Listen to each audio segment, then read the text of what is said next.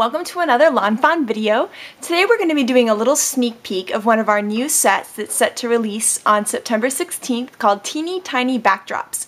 And uh, we're actually showcasing it today on the blog and giving it away today on the blog lawnfawn.blogspot.com. You still have a chance to enter the, the two previous giveaways too, so there's lots of things to win. So make sure you head on over to the blog to enter to win and see the amazing Design Team samples. But today I want to just talk to you a little bit about this set. Um, Teeny Tiny Backdrops is our take on back background stamps. Um, we're calling them backdrops, kind of almost like in theater. And, uh, and it's kind of our take on polka dots. So we have tiny stars, tiny hearts, and tiny music notes.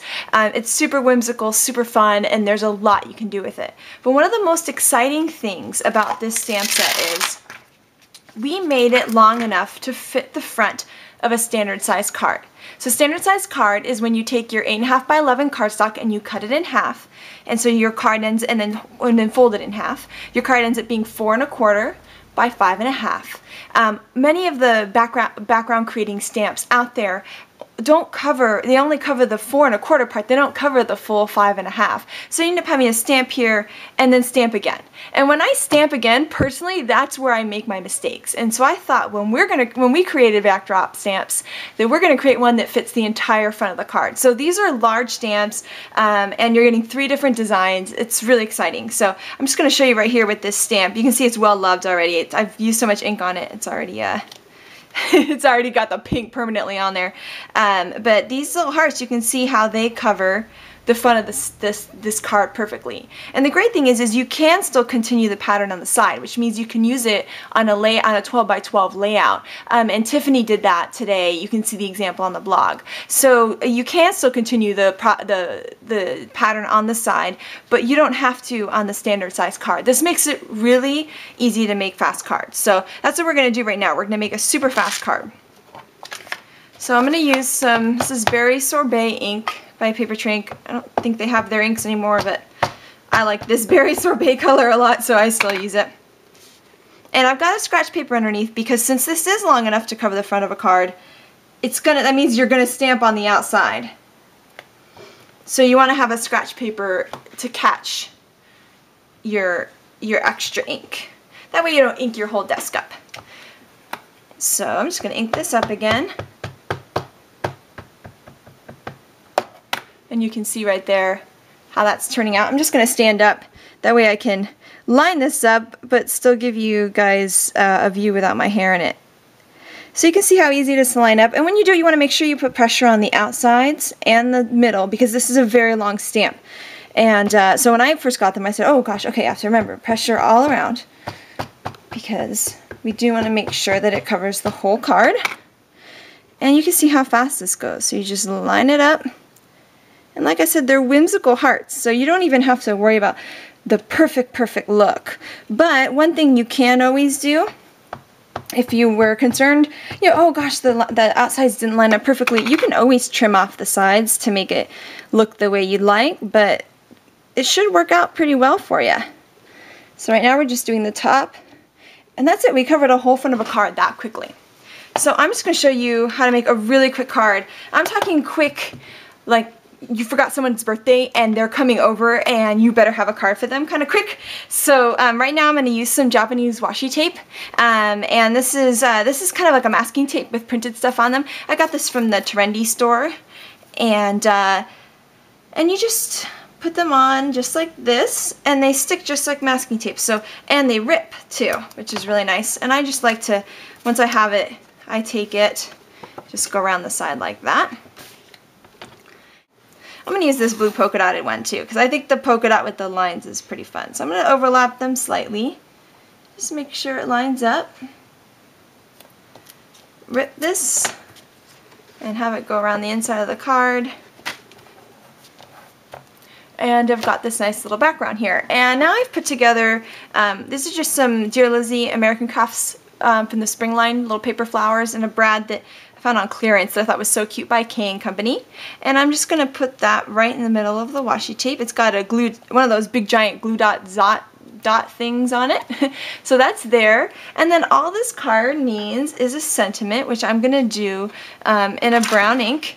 And I have a thank you. Um, it was my birthday and I had a lot of wonderful gifts and wonderful cards from friends. So I want to make sure I say thank you to all of them. So I'm just making a quick thank you card here. And the last thing that I would do is I'm to use my We Are Memory Keepers uh, corner chomper. And I just like rounded edges. I think it gives, it kind of finishes things off. Especially when you go, oh gosh, what should I do next? Round the edges.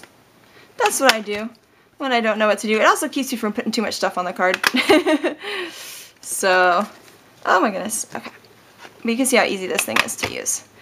And that is a super quick super simple but super quick card that you could hand out um, if you need it.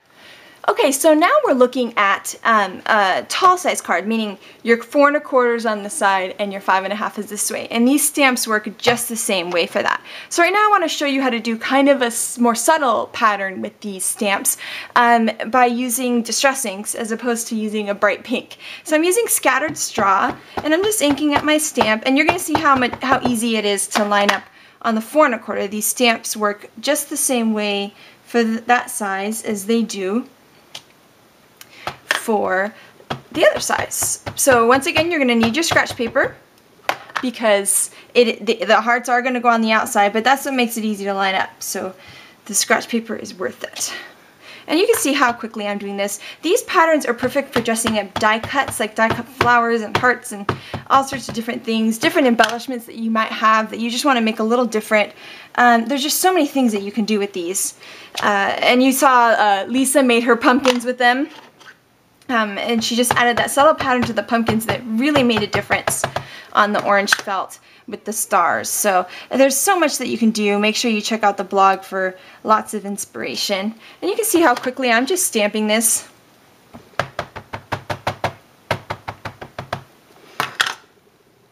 And just going along. And then at the top there, just need a little bit of the edge of the hearts. So I'm just going to ink it up and then just put my little edge right there. And now we have a fully covered card.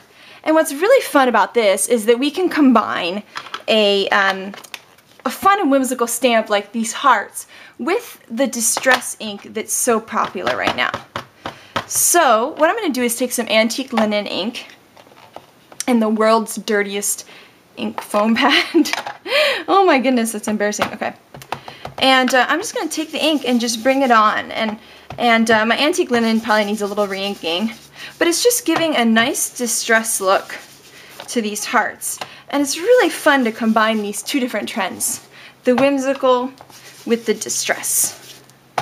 So I'm just doing this super quickly just to show how easy it is to have a card base that's ready for anything that you want to put on it. This would be perfect for fall, so you could put the pumpkin or cornucopia from um, harvest season on it, um, on a die cut, and, uh, and the sentiment underneath it, and you'd be set to go.